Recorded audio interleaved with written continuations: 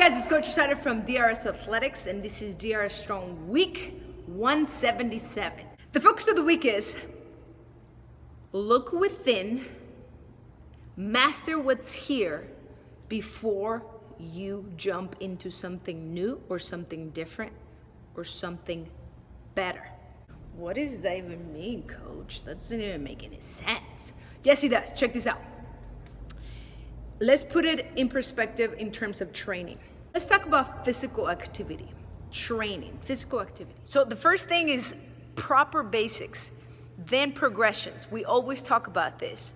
But you know what? If you only get into the cool movement, the advanced cool drills here and there, it's always gonna hunt you back to the basics. So might as well put in the work now. If your chest to bars pull-ups or your muscle ups are just not there, why am I gonna try something cooler just because I'm not tackling down to do the basics? That means my strict pull up is not good. I'm not pulling enough with my lats. Maybe I'm not utilizing my kip or my hips to get over the bar, things like that. So why am I gonna shy away from something that I need to be doing to get better? Right? It'll be really easy for me to get a cool toy and be like, oh well, maybe if I strap myself down and I do this and I'm gonna get better. No, Stick to the basics, stick to the actual foundational movements that are gonna help you. Now, let's put it in real life perspective. If you're not doing something properly to get you where you need to get to, finding a new job is not gonna be the solution. Maybe what you need to be doing is tackle down and take care of business. Don't procrastinate, take care of your task at hand, take care of your teammates around you, and be on time, be productive, be present, look good, you know, clean up, dress up for your job, and things like that. So don't think because little things get hard, all of a sudden the solution is to look for something else. Look within, find it within, and then go from there. One of my favorites is this the food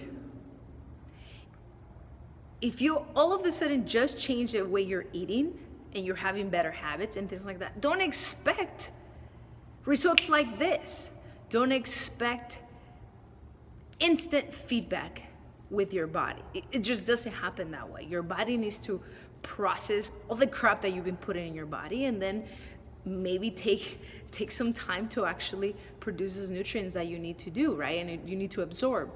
And so be patient not because you all of a sudden started eating better. You need to look for the next diet or the next fad or the next thing and the next thing, or you need to start like just not eating or fasting or this and that. No. Stick with something that is gonna allow to see some change. 21 days, 28 days to see some change. If you really wanna see changes, stick to it for at least a month or a month and a half, three months then change something. Now, if you change every other day is a new diet, a new cleanse, a new this, it's not gonna work. But that's one of my favorites. So again, the focus of the week was don't be so quick to jump onto something new. Don't be so quick to jump into something new or to something different.